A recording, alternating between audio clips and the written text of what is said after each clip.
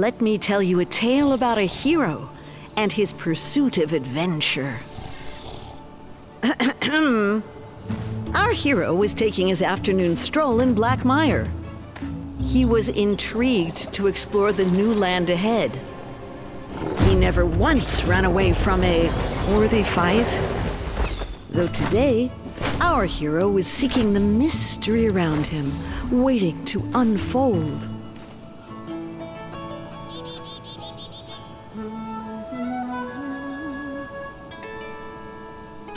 Once he had explored his melodic side enough, he began to wonder what else was awaiting him in this new land of opportunities. It was nothing like what he had seen before. Through the treetops to the city of the ancients. As much beauty this place beholds, danger and peril waiting around every corner. But he was no ordinary man.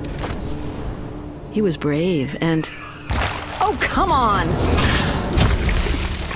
Well, this hasn't turned out the way I hoped it would. Go on, you fearless Flameborn. Forge your own tale around the mysteries of Black Mire.